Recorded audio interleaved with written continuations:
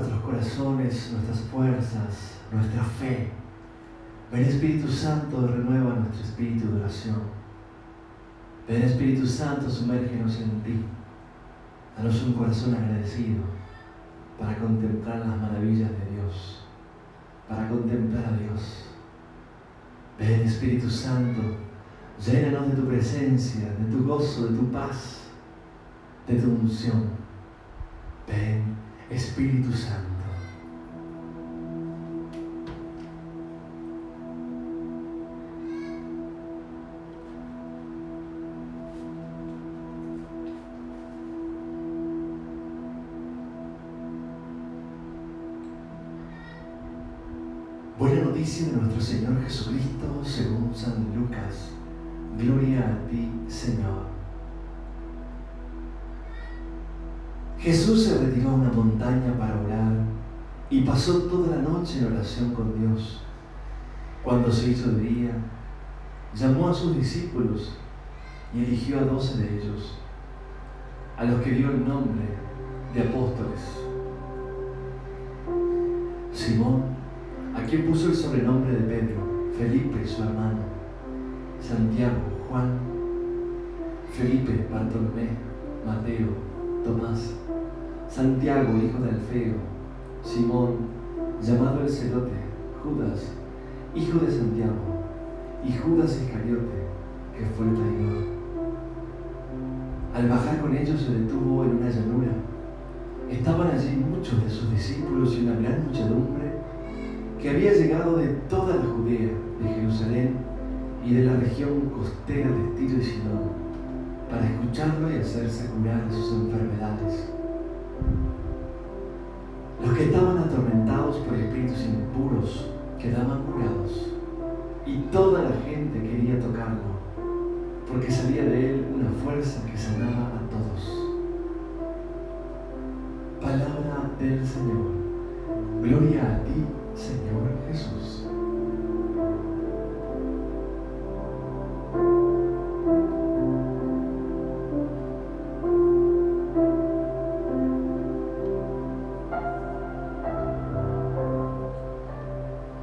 Escuchar este Evangelio nos llena de gozo y de alegría. Porque así como fueron elegidos, pensados, soñados, llamados los discípulos de Jesús, lo fuimos nosotros. Por eso estamos aquí, solo por iniciativa de Dios. Él se anticipó desde siempre nos amó con un amor especial y nos ha llamado a compartir la vida con Él. Ahí donde Dios decide crearnos, amarnos, darnos vida, cuidarnos, su fidelidad, su misericordia incondicional. Dios ama a todos sus hijos e hijas. Qué motivo de alegría es si nos sentimos reconocidos por Él. llamados a estar en su presencia. Nadie hizo mérito, ninguno de los discípulos se esforzó para que el Señor los llamara. Ninguno de los discípulos vio su currículum, le hizo llegar a Jesús algún comentario acerca de ellos. Absolutamente nadie. El Señor, dice el Evangelio, llamó a los que Él quiso para que estuvieran con Él y lo acompañaran.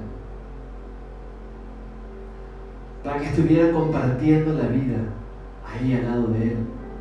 Y después para enviarlos a predicar. Y vemos que estos hombres agraciados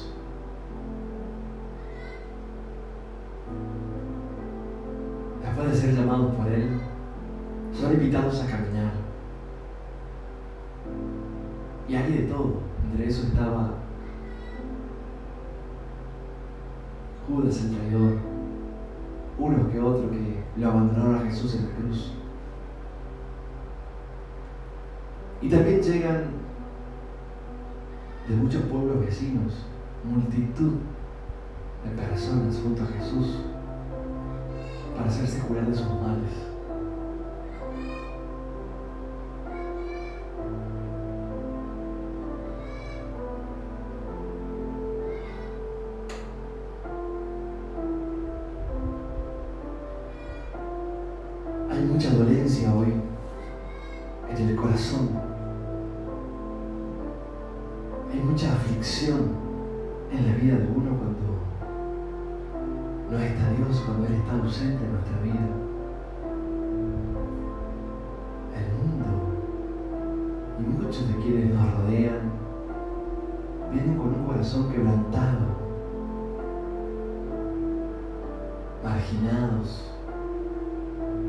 Con diferentes carencias, dolencias y males.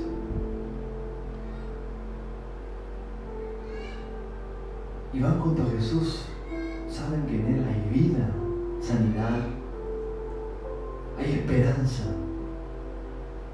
Buscan a Jesús y ponen en un lugar acertado su confianza en el corazón de Dios.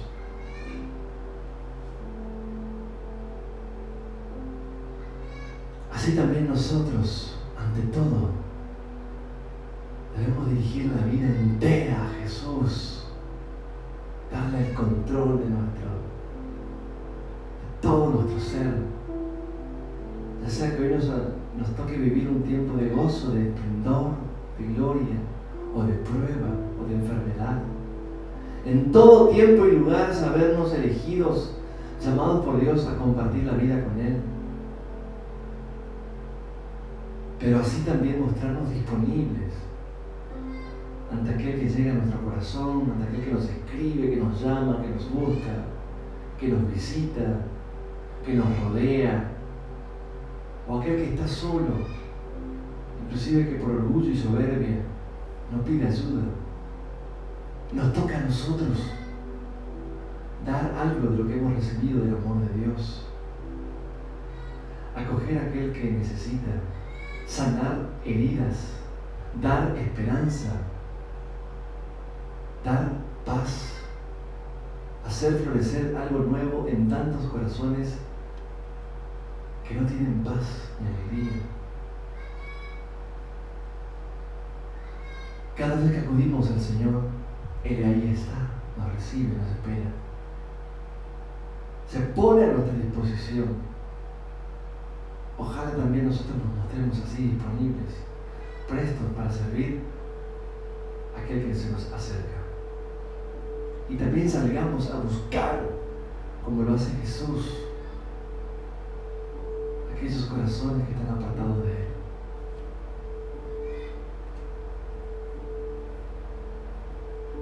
El Señor nos fortalezca en este desafío. Nos regala un corazón como el suyo.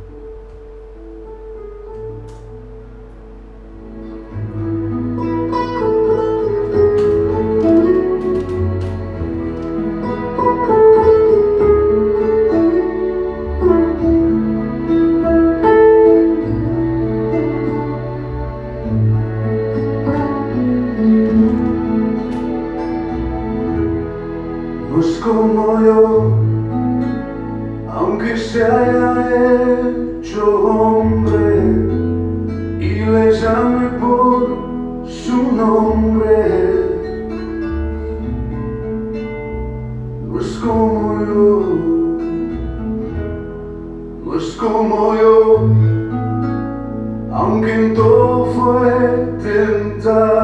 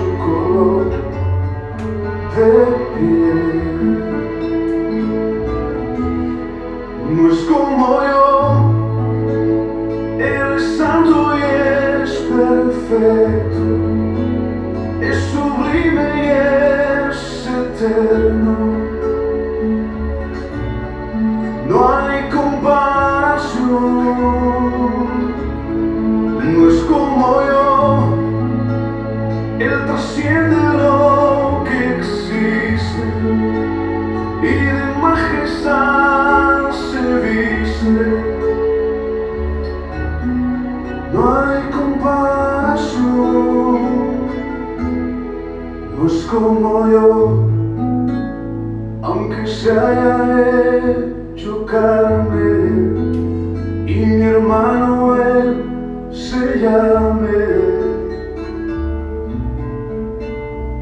No es como yo, no es como yo. En el cielo está su trono, su poder lo llena todo. Como. Ven Espíritu Santo, penetra las profundidades de mi alma, de mi ser. Ven Espíritu Santo, toca mi vida mi corazón con tu amor y tu poder. Arranca las raíces más profundas y ocultas del dolor y del pecado que están enterradas en mí. Lávalas en la sangre preciosa de Jesús y aniquila definitivamente toda la ansiedad que traigo dentro de mí, toda amargura, angustia, sufrimiento interior, desgaste emocional, infelicidad, tristeza, ira, desesperación, envidia, odio y venganza, sentimiento de culpa y de autoacusación, deseo de muerte y de fuga de sí mismo, toda opresión del maligno en mi alma, en mi cuerpo y toda insidia que Él pone en mi mente. Bendito Espíritu Santo, quema con tu fuego abrasador toda tiniebla instalada dentro mío, que me consume y me impide ser feliz. Destruye todas las consecuencias de mis pecados y de los pecados de mis antepasados, que se manifiestan en mis actitudes, decisiones, temperamentos, palabras, vicios. Libera, Señor, toda mi descendencia de la herencia del pecado y rebeldía con las cosas de Dios que yo mismo le transmití. Ven Espíritu Santo, ven en nombre de Jesús. Lávame en la preciosa sangre de Jesús. Purifica todo mi ser, quiebra toda la dureza de mi corazón, destruye todas las barreras de resentimiento, dolor, rencor, egoísmo, maldad, orgullo, soberbia, falta de tolerancia, prejuicios e incredulidad que hay en mí. Y del poder de Jesucristo resucitado, libérame, Señor, cúrame, Señor, ten piedad de mí, Señor. El Espíritu Santo, hazme resucitar ahora para una nueva vida plena de amor, alegría, paz y plenitud. Creo que estás haciendo esto en mí ahora y asumo por la fe mi liberación, cura y salvación en Jesucristo, mi Salvador. Gloria a ti, mi Dios. Bendito seas por siempre. Alabado seas, mi Dios. En nombre de Jesús y por María, nuestra Madre. Amén. Gloria al Padre al Hijo y al Espíritu Santo, como en el principio y siempre, por los siglos de los siglos. Amén.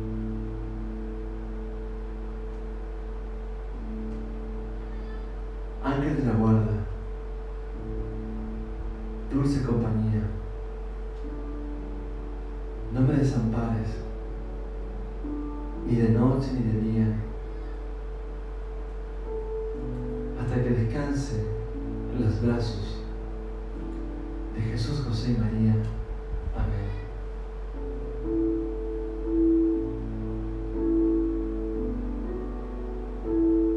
Inmaculado Corazón de María, sea la salvación de nuestra alma. Llévanos a Jesús, Madre. Danos la gracia de reconocer su presencia en medio nuestro. Nos bendiga Dios, que es Padre, Hijo Espíritu Santo. Amén.